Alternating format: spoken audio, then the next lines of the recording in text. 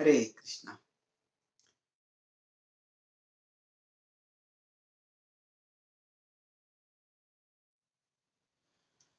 To put yourself together means to uh, learn to become more focused, more purposeful, and more coherent in what we want to do in our lives. Now, how do we do that?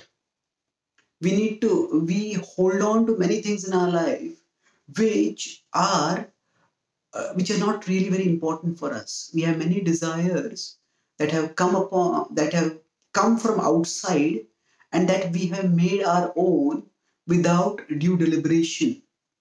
We have many emotions that just pop up within us and we accept them as our own.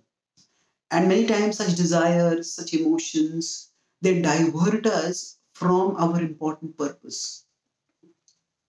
So, we need to put aside the things that pull us apart. So, for example, if you're driving, if you want to go in one direction, now when we come to a intersection where there are many different roads, now maybe along all those roads there might be something nice and new to explore. But we have to put aside those things because that's not where we want to go right now. Maybe later if it's required, but right now we move forward straight. So for us, we need to turn away from the many things that turn us away from what is important for us. So the Bhagavad Gita explains that our mind and senses are impressed with hundreds and millions of desires and they pull us in various directions.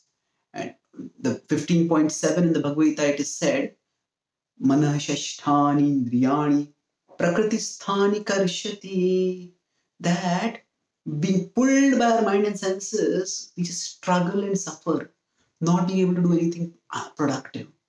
So, if we are living a distracted, dissipated existence, that is primarily because we are being pulled apart by our mind and senses, by the desires that are impressed within the mind and senses. So, what do we do? We need to put aside them. That means we understand that I am not my mind, I am not my senses. I am consciousness, I am the conscious observer. The same verse in the Bhagavad Gita states that we are spiritual beings, part of the supreme spiritual being. Mamaivam sho jiva loke, jiva bhuta sanatanaha. So when we understand that we are parts of Krishna, meant to serve Krishna, then what happens? We learn to uh, put aside the promptings of the mind and senses, understanding that they are peripheral to us. And as we put them aside, we can put ourselves together more and more. So that means we can uh, bring those parts of us which are in harmony with our overall purpose uh, to bear on what we want to do. And those parts which are in disharmony, we put them aside.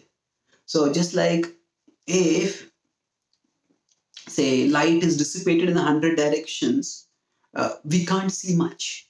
But if that light is focused in one direction, then we can see clearly and that can illumine our path.